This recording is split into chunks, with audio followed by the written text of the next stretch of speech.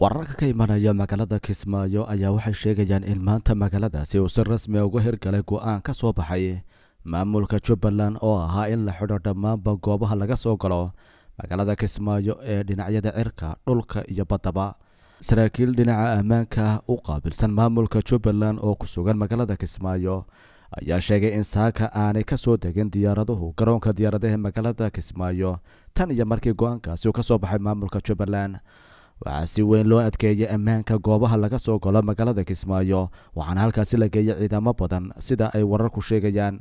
Waxaa magaalada kismaayo la filaya in berito ay ka dhacdo doorashada madaxweynaha oo ay ku tartamayaan ilaa afar musharax. Dhanka kale murashaxiinta mucaaradka waxay sheegeen in ay iyaguna maalinta khamiista dooran doonaan madaxweyne.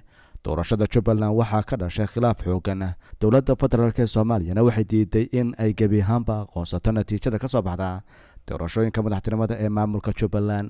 Xaaladda magaalada kismaayo ayaa maanta degan waxaana meel kasta lagu arkayaa ciidamada amniga oo howlgalla ka sameynaya halkaasi. Madaxweynaha hadda xilka haya ee jubbaland axmed maxamed islaam axmed madoobe ayaa dadaal ugu jira sidii uu mar kale u noqon lahaa madaxweynaha maamulkaasi. Dhinaca kale wakiilka xogayaha guud ee qaramada midoobay u qaabilsan soomaaliya james swan ayaa mar kale maanta khudbad uu jeediyay golaha ammaanka kaga hadlay xaaladda doorashada jubbaland james swan ayaa ku celiyay in ay boorinayaan harnaan doorasho oo ah mid laysku raacsan yahay inay ka dhacdo jubbaland.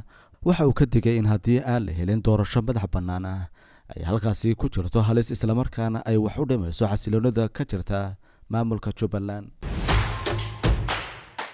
Adeega cusub ee shirkadda dahabshiil iyo ii dahab casriyeynta hanaanka cusub ee xawilaadda dahabshee haddaba macmil adeegan cusub ee casrigaahi waxa uu kuu sahlayaa in adigoo jooga gurigaaga amase goobtaada shaqo aad lacag ugu xawishid asxaabtaada iyo ehelkaaga jooga daafaha dunida